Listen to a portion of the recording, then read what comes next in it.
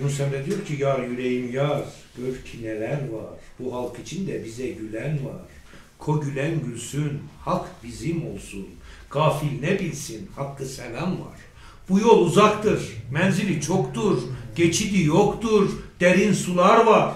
Girdik bu yola, aşk ile bile, gurbetlik ile bizi salam var. Her kim merdane, gelsin meydane, kalmasın cana, kimde hüner var. Yunus sen bunda meydan isteme, meydan içinde merdaneler var diyor Yunus Emre. Şimdi bir sanatsal faaliyet de yapalım dedik o arada. Bazıları diyor hiç sanata yer vermiyorsunuz. Ka- Kardeşim biz burada çekiyoruz sonra yayınlıyoruz.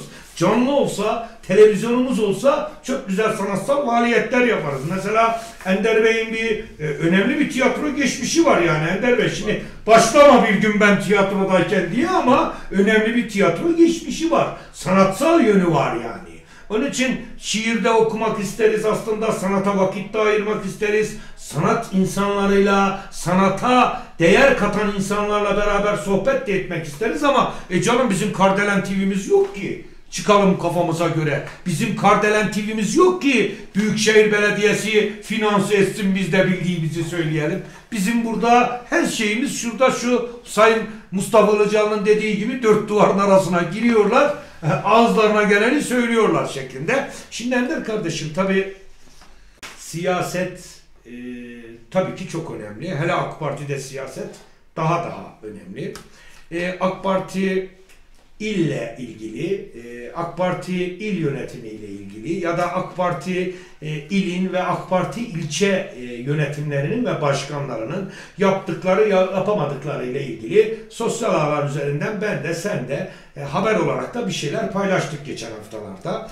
Tabi hatta önceki hafta Yakutiye Belediye Başkanı AK Parti il teşkilatına giderek onlara bir briefing verdi. Yani ben ona bu briefing'e ben bazen şöyle diyorum. Bir briefing nedir? Briefing karşıda bu işi dinleyenin gözlerinin içine baka baka kendi bildiğini söyleme işine briefing denir. Ha, Ali Korkut da arkadaşların gözlerinin içine baka baka bunları söyledi. Arkadaşlardan hiç Şunu çok de bir merak soru ediyorum. sormadı. Şunu çok merak ediyorum hocam. Lütfen. Korkut Beyefendi o anlattıklarına acaba kendisi inanıyor mu? Onu yani bilmiyorum. üç, neden üç kümbetler? Yedi yıldır üç kümbetler. Üç tane arkadaş kümbet değil. Evet, üç gün ben. Şimdi onun için tabi AK Parti ilin değişeceği yönünde Ankara kulislerinden almış olduğumuz haberler var. Biz bunları da dile getiriyoruz. Tabi biraz da bir ilin, bir il teşkilatının alınması alınmaması biraz da göstermiş olduğu performansla alakalı bir şey. Doğru mu? Yani bir il başkanı olarak işte Hilal Kent Tokilere hala çözüm bulamadık. Demek ki e, efendim Mehmet Emin Öz ve yönetimini Yakutiye ilçe başkanı Ali Korkut, Yakutiye başkan yardımcıları, Yakutiye meclis üyeleri hiçbiri efendime söyleyeyim il yönetimini, il başkanını önemsemiyor. Umursamıyor, aldırmıyor, konuşsun diyor şeklinde bir durum var orada. Bir şey konuşmuyor ki zaten Mehmet Emin Özbey. Değil mi? Yani şimdi Mehmet Emin Özbey'i burada e, konuşacak olursak kendisine hırsız, yorsuz, arsız, kötü adam diyemeyiz. Ama siyaseti bilmeyen bir adam diyebiliriz. Bürokrasiden geldiği için. Yani Mehmet Emin Özbey Efendi kötü bir kişiliktir. Ya Erzurum'a yakışmayan bir il başkanıdır diyebilir miyiz? Diyemeyiz. Ama bulunduğu makamı layıkıyla yürütüyor mu? İşte bunu tartışabiliriz.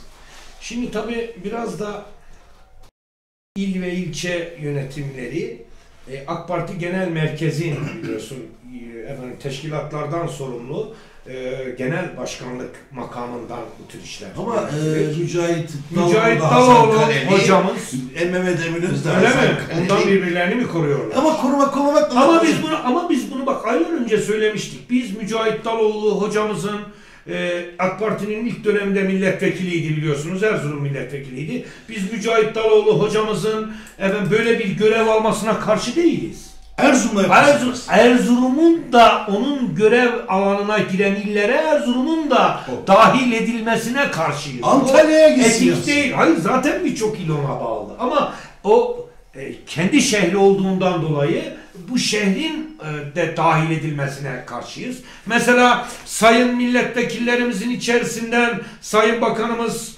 Başbakan Yardımcımız Recep Akdağ teşkilatçılığın en iyisini bilir. Sayın Recep Akdağ, e, Mücahit Daloğlu hocamızın e, efendim herhangi bir siyasi bir atraksiyon yapması mümkün değil ama Recep Akdağ'ın altındaki milletvekilleri şunu bilesiniz ki Mücahit Daloğlu hocamız siyaseti bilir. Önümüzdeki seçim için hepinize çok güzel birer atraksiyon hazırlamıştır, hazırlıyordur.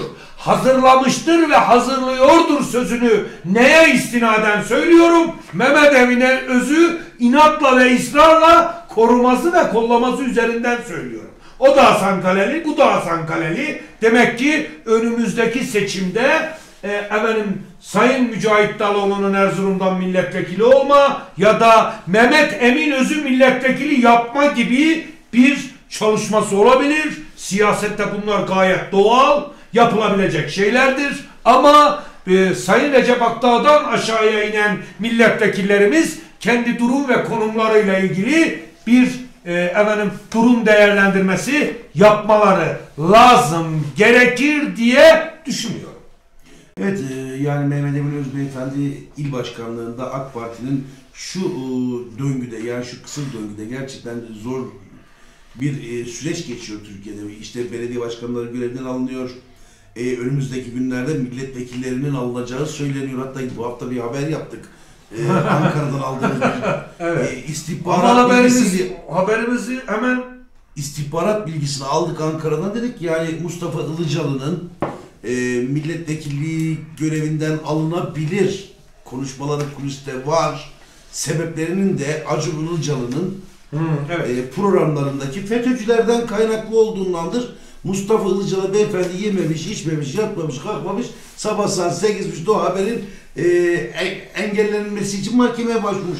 Sayın Mustafa Ilıcalı e, bu bizi arasaydınız ya bu haber e, işte doğru değil deseydiniz doğru olan bilgiyi verseydiniz sizin vermiş olduğunuz bilgiyi de emin olun ki o çevrenizdeki e, bazı e, gazeteciyi ya da çevrenizdeki bazı eş dost dediğiniz insanlar gibi sizi tırtıklıya tırtıklıya değil hakkıyla bu işi layıkıyla yayınlamasını biz bilirdik ama siz e, çevrenizdekiler sizi öyle alıştırmışlar. E, sayın vekil gel şunu yapalım arabamın mazotu bitti.